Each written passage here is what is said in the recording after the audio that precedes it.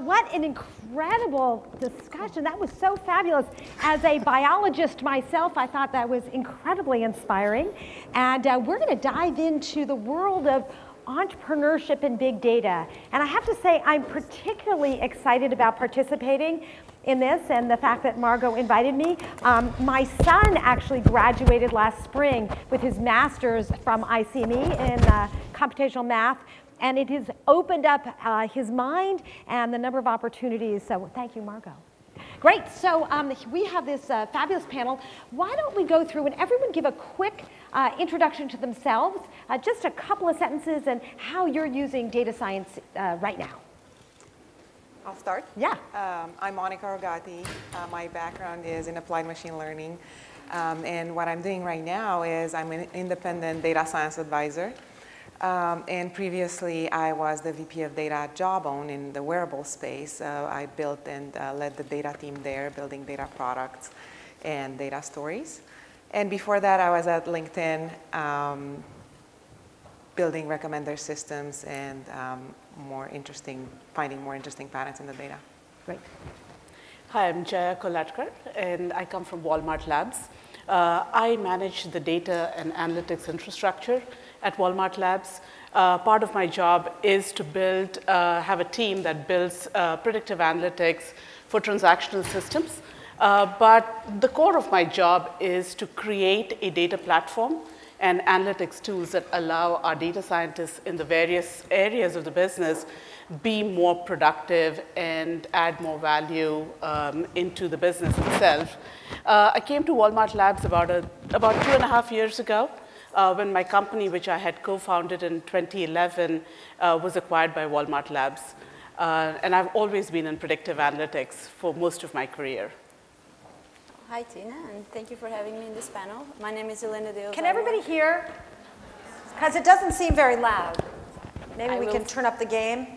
Game. Thank you. Thanks, Lincoln. I work for a company called Foundation Medicine, and we're in the business of applying these discoveries that Jennifer just talked to you about in uh, personalized medicine. So at Foundation Medicine, what we do is we help oncologists by giving them the most accurate, or what we try to be, the most accurate information that they can get to treat their patients. Um, so data science pretty much permeates everything we do. Uh, the sample comes in through the door, we sequence the cancer genome, we compare it against the normal genome, and based on that information, we identify which mutations are driving the cancer.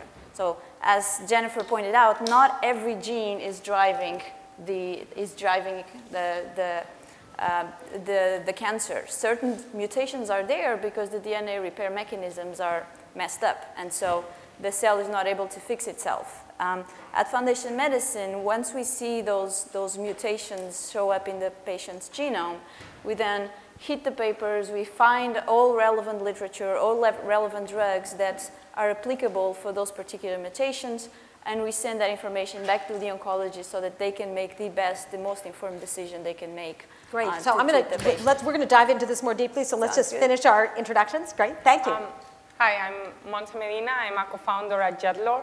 Um, Jetlore works um, providing product discovery to e-commerce companies. So uh, if you are an online shopper, most likely you have been exposed to our algorithms. And um, I'm actually one of the two uh, original developers of the, of the Jetlore algorithms. Great. So um, this is a wonderfully diverse group of people. Um, I want to craft this panel right now in real time that we're going to pretend we're at a very lively dinner party com okay? Imagine you've got a glass of wine in front of you and, uh, and there's no one here listening, okay? So um, it would be great to have a discussion about where you see the world and the opportunities with data science in your different disciplines are going. Because this is an area with constant change, really brand new tools, new ways of approaching. Where do you see uh, the future spreading out for, in your different areas? And anyone, jump on in. I'd say the biggest issue right now is how to measure data quality. How to measure? Data quality. Data quality. So data is coming from all, all over the place. All sorts of databases have data. And we are not just, just don't know how to measure the quality of the data. That en- ends up being a major bottleneck for any data science initiative. Because if the, the, your insights that you can get from the, any data science project are only as good as the data that you put in. Right, garbage in, garbage out. That's so right. you need to make sure you've got. So how do you deal with that? How do how do folks deal with uh, making sure you've got good, clean data? So you really can't uh, say at the outset whether it's good, clean data. And you always have to look at good, clean data in the context of what you want to do. Um, so we try and figure out how we can robustly test very quickly the quality of data. We know what we want to do with it uh, a priori, hopefully. And then we can then start testing it and seeing, attaching value as we understand how it helps influence the decisions that we want to make and create a value system for the data that we're bringing in and then leverage it in other algorithms as we go along. So we've been using more testing. And uh, you have to be a detective, right? So I encourage data scientists to really take a look at the individual data points and understand how they fit together and really explore the data in depth and be very, very skeptical of what's coming in. Um, and that's something that uh, in academia we don't have, we don't deal with as much. Uh, we have clean data being served to us, um, but then when you go out in the industry and you see how dirty the data is coming in, you have to really uh, be skeptical of it and be a detective. And it's a really interesting and challenging problem in itself. Yeah. Great. Actually, I totally agree. I was just going to say exactly the same thing. The way we describe data scientists at Jetlore is data detectives. There's different kind of um, people that may know uh, some algorithms or others, but ultimately what you want is that person that can differentiate the noise from the signal. And that is what we call a data detective. Great. So what other, besides uh, concern about clean data, what are the opportunities you see going forward as you're, as you're looking ahead? I think uh, one of the biggest opportunities is around uh, making uh, things smart, right? So that's the broad category of data products. Um, so we're surrounded by, by products, and what we want is for everything to be smart and adapt to us and, and so on. And um, data is a big part of that. How do you personalize your experience? How do you make it more effective, even from medicine to education? How do you make it more effective? How do you um, put together these smart products? Um, and if you do it right, a lot of the data is invisible and it, the interfaces are invisible. So the, the, really big opportunity around data products is around making them smart and personalized. Great. Uh, so the things that we are looking at is we're looking at data that is not truly connected together. If I wanted to say, you know, how is someone, the way they interact on Facebook, how do they actually shop? It's not directly connected. So how do you do this inferential connection that allows you to create some value and allows you to understand how a person wants uh, their uh, experience to be personalized. So that's something that we are working to figure out. And that, that's an excellent point because that is what you find on the web nowadays, right? And it's, even though it's there, it really isn't connected. There's no connections between data in PubMed or data in databases that publish that, that information. So the connectivity of the data, ways to increase that connectivity, whether it's inside a company or, be, or across uh, public data sets, that's, that's really, really a key point. No, I, I mean, the last one, everything has been said. okay, great. Super. Well, I'm I'm, as, as somewhat of a, a, a, observer of this field, it's clear that there are lots of um, online uh, or, or, available tools that you can use that other people have developed. And then there are things you, you develop yourself that are proprietary.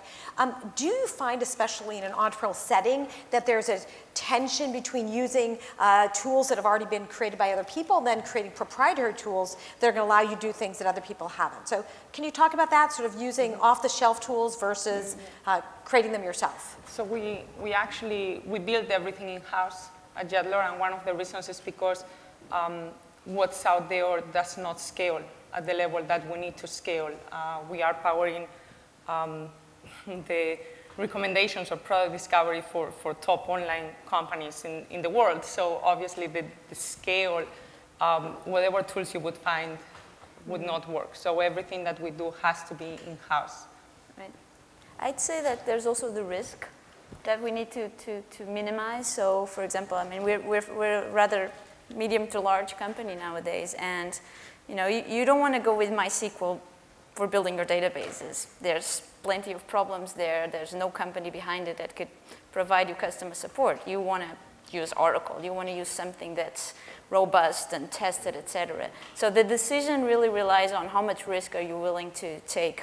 Is it a research project? Is it something that you need to customize? In that case, we go with um, products that we build ourselves. But if it's something that you really need to be up to, up to date, robust, et cetera, secure, then it's, it's preferable if you buy a tool. But preferable to buy it Yes, if you need something that's robust, Yeah, because someone else has already tried it and tested it and you know that there's already market for it. And support. So uh, I think you've got to really look at the balance of what you want to build versus buy. Uh, buy things that are, you know, standard. Everybody uses them. Uh, there's no real victory in reinventing the wheel. Um, but then where things are very, very specific to your business, build everything in-house because that gives you competitive advantage uh, that you would not get with standard uh, products that you might buy. Great, and I guess then control over what, what things to, you can tweak. Yes. Great. Did you- Uh, I've seen both sides of that, uh, of that um, argument. Uh, on the one hand, at LinkedIn, uh, early on in, um, early on in, in the LinkedIn data um, evolution, uh, we had to build a lot of things in-house because they just weren't there. The scale, to your point, um, you, you couldn't get something that scaled um, as fast as we needed to for data product at LinkedIn. So that's how a lot of products that then were open sourced and perfected and that are now available to use to everybody here, um, products like Kafka um, that a lot of people are using here, uh, Voldemort, and, and so on. There's, there's a lot of um, different technology that has been developed in-house to address that need of, to scale. And then now it's available um, for everybody to use, in, in which case you should take advantage of those years of development, and it's a good idea to use, to use it and adapt it to your own purposes. Ah, Interesting. I'm going to guess you've got all this data coming in. There's a lot of questions about what questions you ask the data, right? And there's a lot of strategy that goes into determining how you're going to be looking, what lens you're going to use to look at this data. Who makes those decisions? I mean, you know, if you just ask the data scientist, they might not have the business perspective. If you ask the business person, they might not have the understanding of what actually can be um, extracted from that data. Can you talk a little bit about that decisions about how you actually query these large data sets? That, that goes back to the definition of the data scientist, interestingly. A data scientist is, or the unicorn data scientist, which is why it's so hard to find, is, the, is somebody who has a combination of the business knowledge, combination of statistical knowledge, and a combination of computer science knowledge. And you rarely find all of those three in one person. So in my opinion, the best way to make those decisions is to actually get in a room all the people who have the combination of those skills um, and brainstorm what, what is the next direction that the data scientists should take. Well, at a, at a startup, actually, when, when you are quite small, you do get people that are working um, for you because they are genuinely excited, especially in such a uh, heated up market for data scientists, right? They, they would work for you because, well, they want to work with uh, smart people, but they also are excited about the impact and then they care about the business. So generally, they are interested in knowing, well, how, how would this, what are the, what's the most important thing? The most important thing is to increase revenue for our customers. So then what are the most important problems to work on? And um, generally everything aligns. So at Walmart Labs, I think we have a very strong business team that has spent a lot of time understanding what data science can do for them. And you're going to hear from Kelly this afternoon regarding how she has thought about data science in the context of how to grow the business. Um, so we leverage both these parties very heavily, working together to say, what is it that we're trying to solve? Uh, many times the business team won't know what data is available for us to solve that. So the data scientists bring, you know, what availability uh, of data is there, what algorithms can be leveraged to build um, algorithms for solving a particular problem, and the business time, uh, team brings in the necessity, the value of what these algorithms can do for the business. So it's a great combination. Uh, what I advise data scientists to do is to think about the impact before they even start asking a question or working on a problem. Um, there's a product development strategy that says you should write a press release first when you're trying to develop a product, right? And similarly in data science, you could think through before you even start working on it, what's the best case? If I work on this, what's going to happen? Uh, what's the result that I'm going to see out there? What's the likely case? And then and what's the worst case, right? So once you see those three, you, you can think about and how much effort, estimate how much effort it's going to take, right? So thinking of ROI, where R is not just money, but everything good divided by everything bad. Um, and so thinking about the impact uh, it is really helpful because you get to to imagine yourself having built what you just think or having answered the question that you just thought about, and then evaluate the impact when that, once that question is answered. Mm -hmm. I love this new definition of ROI is everything good divided by everything bad. so can you give any examples of a place where there was a really interesting marriage between the business folks who were asking a probing question and the data, or where the data scientist informed the, the strategy folks about, wow, if we look at the data this way, we're going to get some really interesting insights. I mean, I'm curious, is there any particular example that bubbles to the top that you go, wow, this was a really interesting insight that came from the looking at something from a very unique perspective? Well, in, in our case, um, typically those, those insights come from R&D. Um, you know, uh, we, as part of our operations, we sequence many, many uh, samples per day. And sometimes scientists would notice, oh, this gene, it's not reported in the literature for this cancer. Let's see if we can find it in other, in other samples. And so that, that often drives the improvements of the test. So um, the business will then decide to put that gene and to put more emphasis on, on testing for, for a particular feature. Great, just like we heard in the previous talk, like you find, you go, well, there's something here, and we haven't been looking at it. Maybe we need to turn our light to look at and see where it's That's right. relevant. Anyone else have a, an yeah. example? I have something. Um, so uh, an, an, example from Jawbone, and Jawbone is uh, an activity tracker. And so one thing that we could do, and we have studied in the data science team, is um, to what extent the weather, and that's relevant because it's pouring out, to what extent weather affects your activity levels. Mm-hmm. So we, we looked into that and we published a blog post which, it, which you can um, check out. But the insight there was that weather does affect uh, your activity level, only um, on the weekends or outside the, of the working hours. And well, that's, that sounds kind of intuitive, right? But you, we were able to measure exactly how much uh, of an effect there was, how much people are responsive to, to the weather um, and how much their activity changed. Now, the reason that's useful is because this is a natural experiment where you have some input and people respond right? So, so you can imagine um, if we encourage people to move, right? Um, you have to be careful when you do it. Because if you, presumably, if you do it on the weekends where people, when people are open to being influenced, then you're going to have better results than if you do it when people are not open to being influenced, when Mother Nature couldn't get you moving, you know, what chance do you, you know, a little phone uh, notification has, right? So that's, that's an example of where some data science insight informs actual product decisions that make the product better. Great. I want to let people in the audience know that we are going to open it up to questions from the audience in a few minutes. So uh, you can put your thinking cap on of the most probing questions you can ask these wonderful panelists. So here we are at this university where people are learning a lot about data science. Um, let's flash back to when you were in school. Uh, what type of things do you wish you had learned? Um, what skills, what knowledge uh, that would have uh, helped you at this point, and what sort of guidance would you have for the people who are still in school who are thinking about uh, a career in this discipline? So I, I, I'm actually, I'm, I'm not too far from that, right? I, I left not too long ago, but um, there's, not, there's nothing that I actually regret because I was lucky enough to have um, uh, people that really pushed me into where I was not comfortable. So, so I actually had an advisor that really pushed me to, uh, to learn very strong fundamentals in programming. And my co-founder with whom I was working also from the Stanford days, he also pushed me. I, I really think that this is one of the skill sets uh, for us. The most important thing is can the person think clearly and have, and have strong foundation in the, in the very basic things? What is the core of an algorithm? Why does it work in this setting? Can I take um, the insights of why it worked here and put them into a different setting. That would be the fundamental and clarity of thinking. And then the second thing is, can the person implement this uh, so that I don't need another engineer to actually test the hypothesis. So if the person has these two skill sets, I can basically teach the person anything.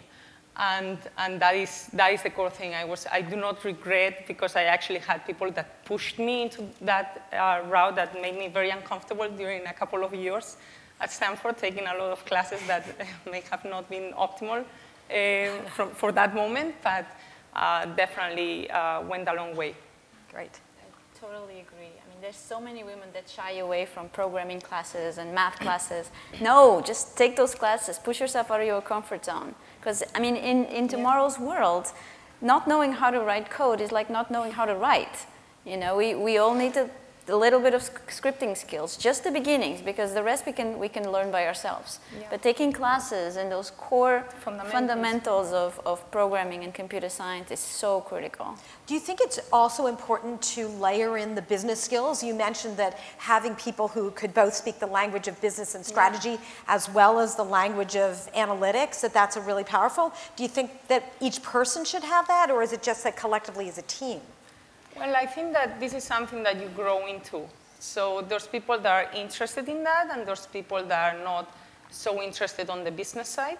So, so it's very hard to, to get a job and automatically be at that uh, position of power where you can make business decisions as a data scientist. So generally, you grow into that it's uh, more important to be able to prove yourself within the organization and then decide, do I want to take more of a business route and lead a team, or do I want to be um, a data scientist per se and just dedicate myself to data science?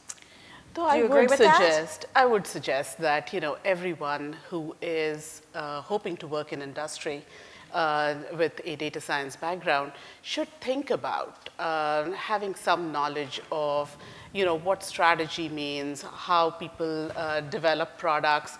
These are core essential uh, ideas that, you know, can help you develop your, uh, you know, your value to the business uh, in a much greater sense. So I would definitely suggest some level of understanding of uh, business and uh, data science interaction.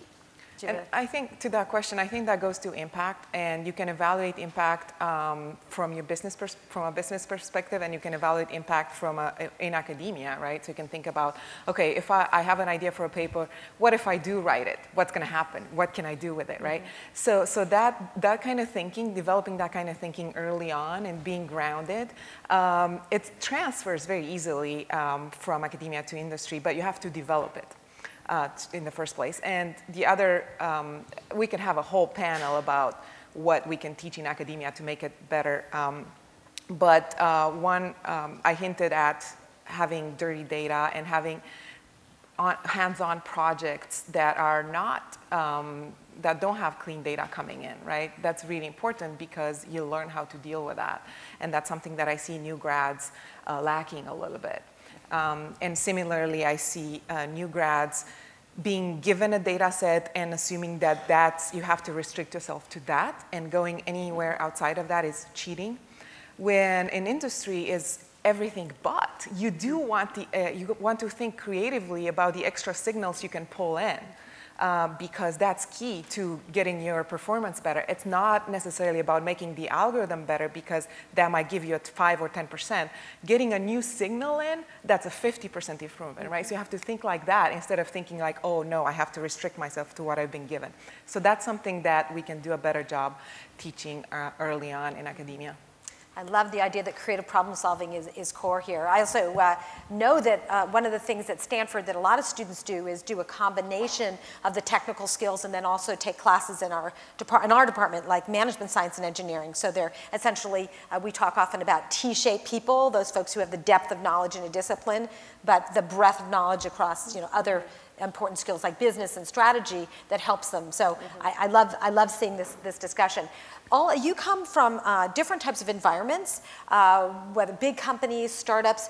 Do you think that one approaches these uh, big data analytic problems differently if you're in a big company uh, with a different type of um, um, organization and goals than you do in a small company? Or do you say, listen, it doesn't really matter if I go to a big company or a small company, it's all the same? Do you, do you see differences in those environments?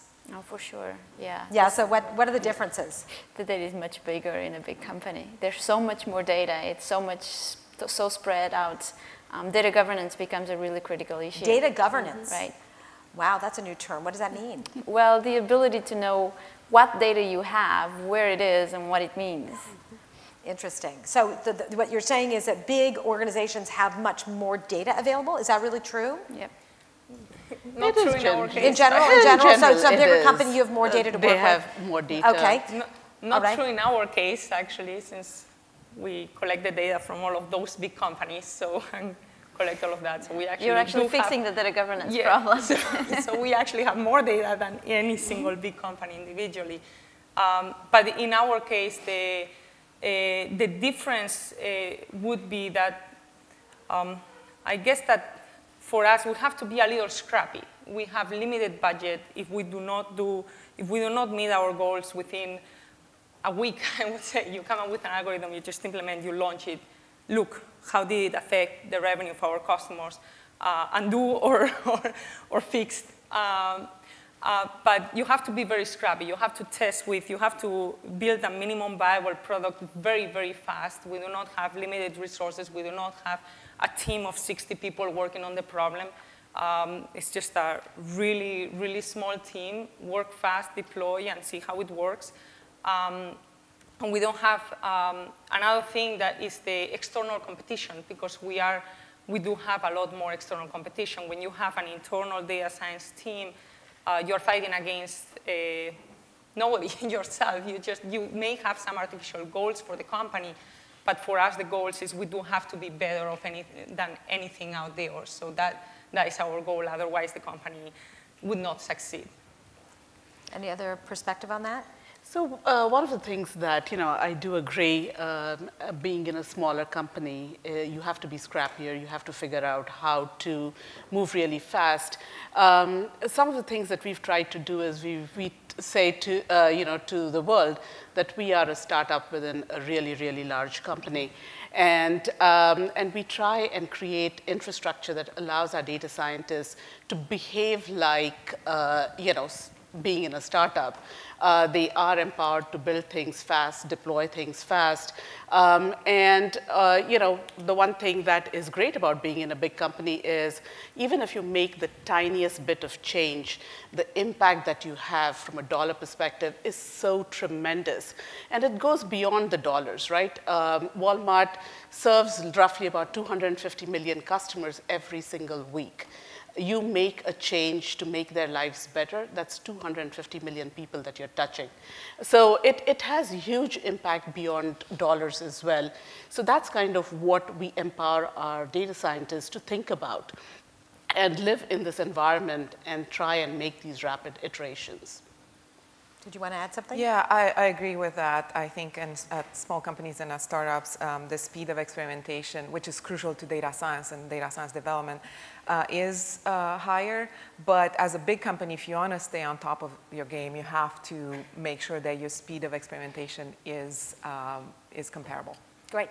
Let me open it up. Who has a burning question? Yes, please say it really loud. Oh, and there's a microphone coming this way, maybe. One way.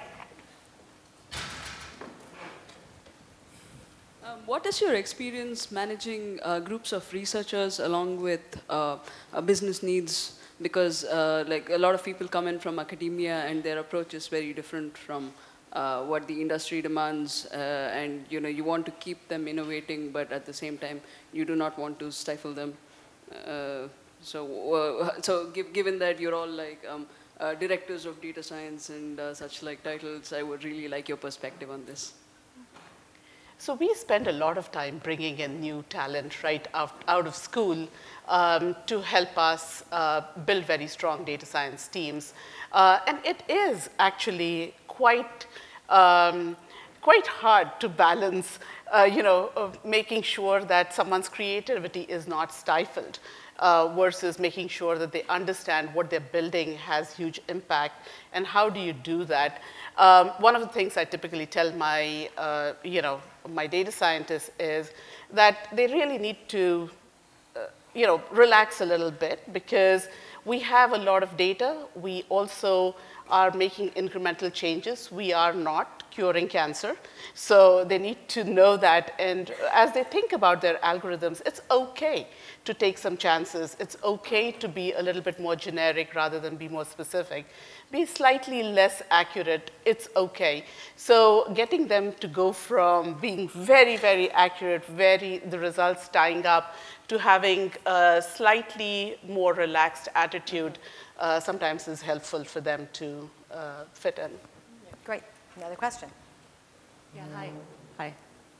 Uh, yeah, my question is, where do you sit on the spectrum on your data philosophy uh, from one extreme being capture all the data you can, grab all the data you can, so that in the future, if you think of ideas of what to do with that data, you've got the data, it might be super messy, versus uh, uh you know, something that's totally opposite where you would plan, carefully plan and intentionally capture uh, only or specifically the data that you would want for purposes you know of now.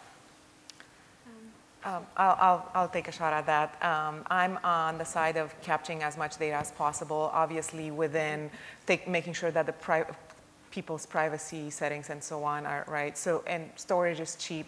So capturing as much data as possible early on and even brainstorming with your data science team, what kind of data are you missing? What kind of data are you not capturing?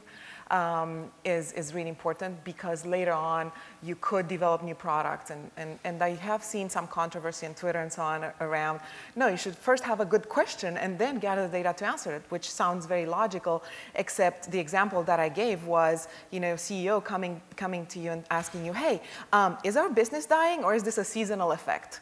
And you say, I'm right on that, Gil, I'll get back to you in a year. not, doesn't quite work, right? So, so I'm on the side of capturing as much data as possible. Okay, another question. Over here, table 21.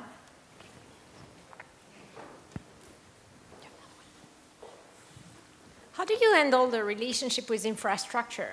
You have to compute somewhere and you have to collect those data and do something about it. Could you try to describe how you manage that? Be really nice to the IT department. They hold the keys.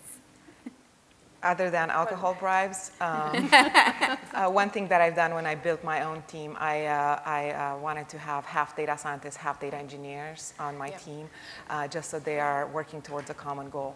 So that's one hack that um, I, yeah, you want to add some data engineers who are the ones that are going to build the scalable infrastructure for the data scientists. Generally, they are computer scientists. They, are, they have some interest in algorithms, but they are not a data scientist per se. So, but they would understand the algorithms and they would be able to implement the algorithms at a large scale.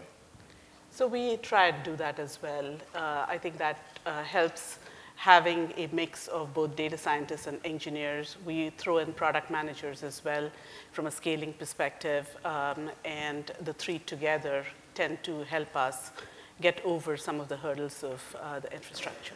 Right. Uh, Helia Naeimi, Intel Labs. Uh, uh, I have, uh, I'm computer uh, architect and memory architect, so hence the question. Uh, you talked about challenges in collecting data and um, accessing to the clean data versus dirty data and also the, the tool set. So my question is that how far are we from, from the, the computation and memory resources. What, what would be on your list, uh, on your wish list to, to, to buy uh, the infrastructure, the, the computation, and, uh, and the, the, the, resources to, to do all these data science uh, algorithm? Are we very far from there, or the kind of resources that we have today you think is, will, will address the, the challenges that we have in computation? So we actually, um, We do obviously an offline training, and we do a cleaning of the data offline, but all of our algorithms run uh, in memory online in real time. So we do not have any kind of pre-computed uh, algorithms. So everything runs in real time as the user comes in that moment. We would uh, run the algorithm for that user. But obviously, there is a pre-cleaning process of the data and storage of the data and preparing the data. And then there is a, um, a stage of offline training uh, to make sure that the algorithm uh, is going to perform. Great. Another question? Do I see one? The, over here, great.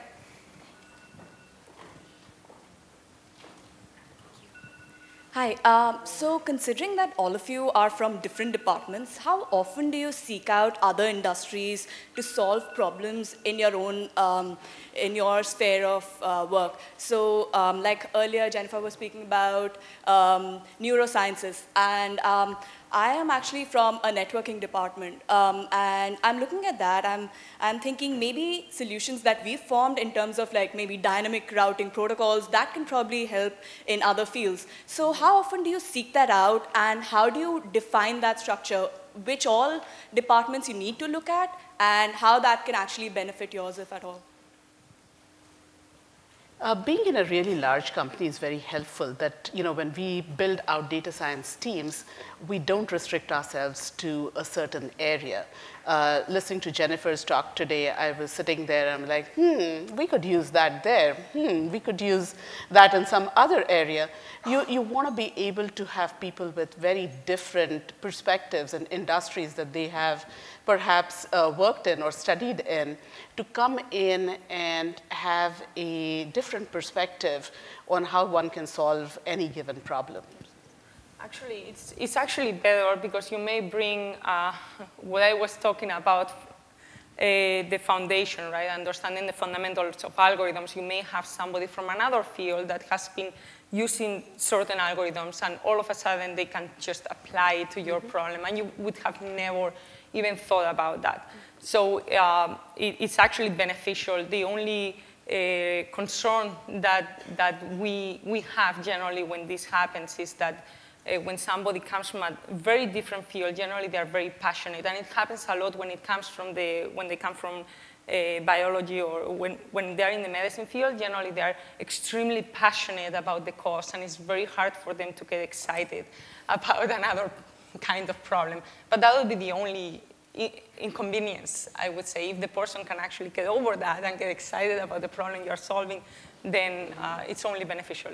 So I want to just end with everyone um, just making a, a closing statement about where you see the biggest challenges slash opportunities. Um, I'm a huge believer that problems are opportunities, and the bigger the problem, the bigger the opportunity. So where do you, it could be in hiring and getting the right people in. It could be some technical issue. It could be some, whatever it is. What do you see as the biggest sort of problem slash opportunity uh, right now for you?